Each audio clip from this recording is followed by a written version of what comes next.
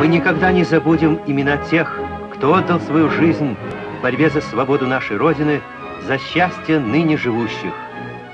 Среди них была и Клава Назарова, пионер-вожатая одной из школ города Острова, бесстрашный руководитель комсомольского подполья, прекрасный и мужественный человек. Каждая мать могла бы гордиться такой дочерью, какой была ваша Клава Евдокия Федоровна.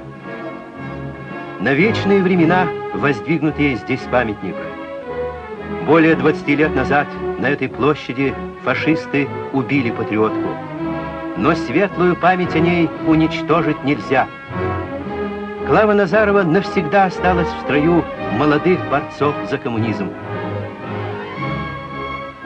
Для нынешних пионеров в ее имени воплотилось самое светлое и благородное – готовность пожертвовать жизнью для счастья людей. Памятник герою Советского Союза Клаве Назаровой – это памятник бесстрашию и мужеству советской молодежи.